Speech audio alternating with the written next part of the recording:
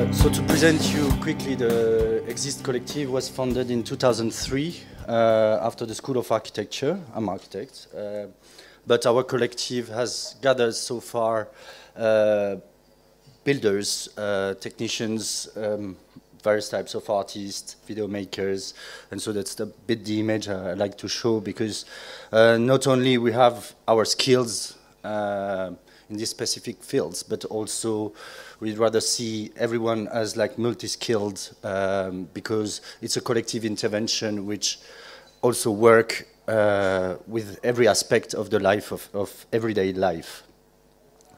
Um, one of the aspects of the group is that we are crafting everything. Uh, we are a kind of, I would say, describe it interventionist um, group because we are intervening into the space. We are making, we're taking a place from scratch. And our mission, so you see I am trying to match to the, the, the theme of the night uh, today, but I feel a bit more close to the Holy Grail, Monty Python styles. Uh, so the important thing is always the construction start, uh, site to kickstart a project, to kickstart a story into the, the city. And also to invite all different people you can meet in a situation which are, which have like interesting um, aspects or history to tell about the situation where we land. We have been working across Europe, and so there are different people who are involved, different age, well, but that was a different collaboration. That well, it was in a, in Birmingham. It was just a project called Birmingham. We wanted to to to, to rename the, the town because Birmingham has lots of problems, like psychologically speaking, on an urban level.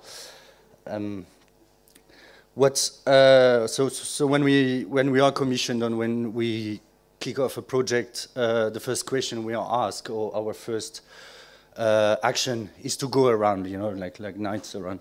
And, and, and we, are trying to spot situations which are like urban, derelict, unused space, uh, where we try to then to activate this space to um, bring a new story in there, to, to create, uh, to capture the imagination of the space or to bring some, some new elements of the imagination of the people. So that was in Dalston in London, so I will go quickly. And that place inspired us to, for the Barbican to, to create a windmill uh, together with another artist to plant a wheat field. That project uh, lasted one month in 2009. That's a different place that was quite funny in the center, city center of uh, Warsaw. And when we found this space, we said, yeah, that, that looks like crop circles. So we decided to land a UFO there that became then um, kind of a new cultural space during the whole summer. Uh, a local foundation took over the place and ran it. So basically, we, we create that space, that initial story, and then um, there are some bathrooms, there's a, a swimming pool, there's a little cafe, and then for two months it's activated by others. That's again in London, in Southwark. Um, we created last year, it was called the, the Reunion uh, Public House. So that was an another project uh, that we self-initiated and almost self-produced.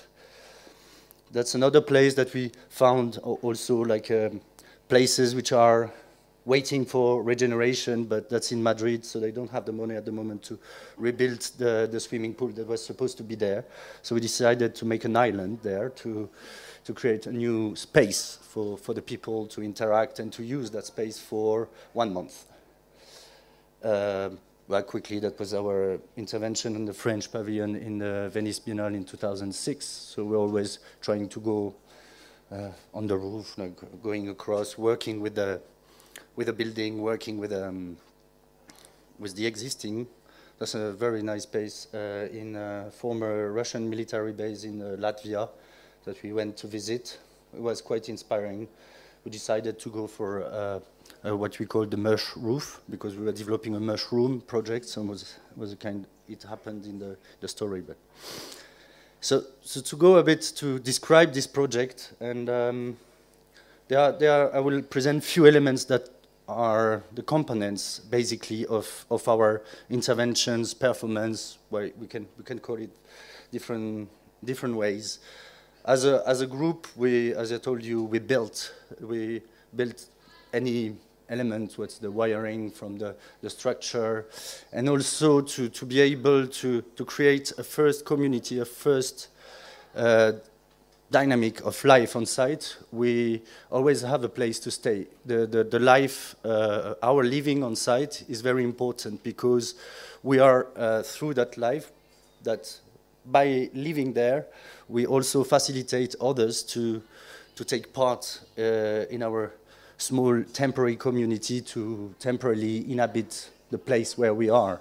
So that's like different uh, housing setup in, um, in various projects. It also, we also offer this accommodation to, to the people who then join the group, join the collective, and then merge with the project. So that's just um, a mother who is like uh, reading um, a story for, for kids.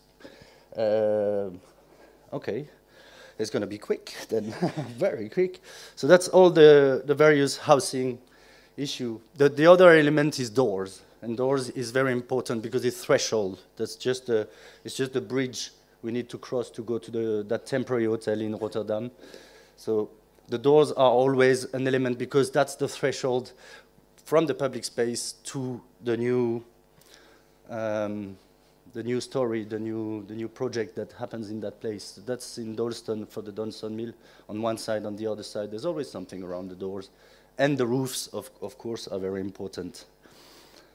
I will, I will go quickly because I want to show you uh, a movie which probably will tell you a bit more how things work from um, during the day. And um, so that was also the importance of water that we have in our project in different sense. And um, I think yeah, the movie will be it's three minutes, and I think we'll tell you, show you a bit. It's a friend of us. who did this this uh, movie on the last project we did in London in Southwark.